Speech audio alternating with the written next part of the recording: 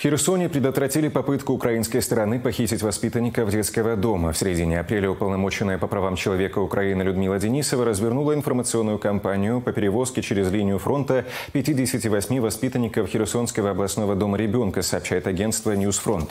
При этом дети были выбраны самого младшего возраста от двух месяцев до пяти лет. Вести малышей в зону боевых действий омбудсмен требовала от главврача детского учреждения, от настоятеля Баптистской церкви. Она объясняла это тем, что на подконтрольной России территории нарушались права ребенка. Их якобы не кормили, содержали в антисанитарных условиях, подвергали насилию. При этом, по словам врача Херсонского дома ребенка, детей планировали вывести в Европу с целью использования их органов для трансплантации. Они хотели вывести или в Польшу, или куда-то. Они туда хотели эти вывести детей. Но дело в том, что из того... На органы? Вот я так подозреваю. У нас приезжали из, из вот той церкви, куда хотели забирать, вот те, которые хотели забирать, приезжали в группу ЦНС. Дети у нас, у нас есть абсолютно безнадежные.